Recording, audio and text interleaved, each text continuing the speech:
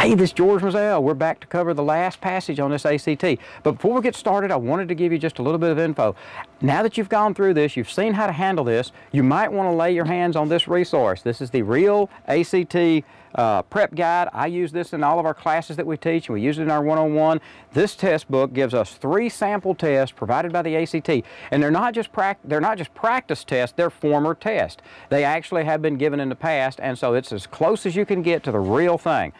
You can also talk to some other people around you. You may find that they have a test book from when they took the test a year or two ago. They may have ordered a booklet. That's a good thing to do as well. But we're going to go ahead and get started with passage 7 now.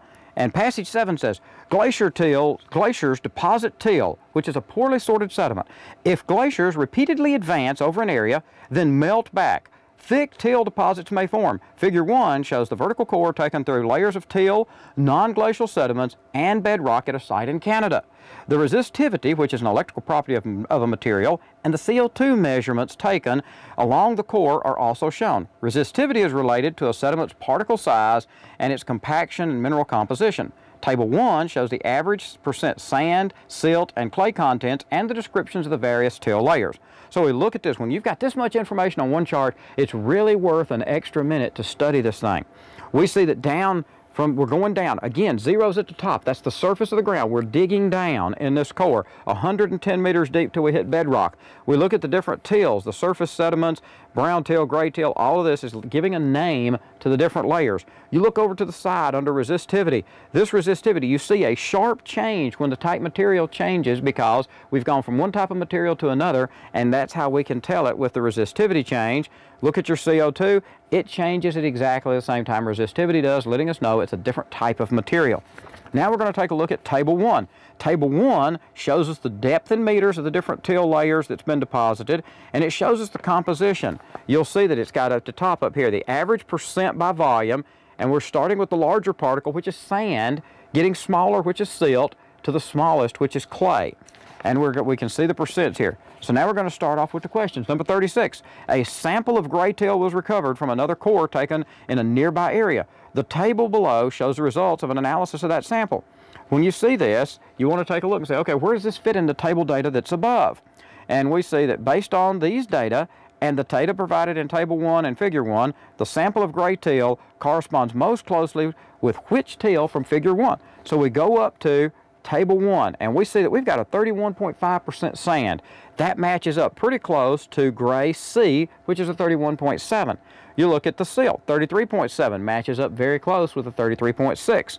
We look at the 34.8, matches up closely with the 34.7. So we have gray C is the till. You look at answer H, gray C, gray till C. 37.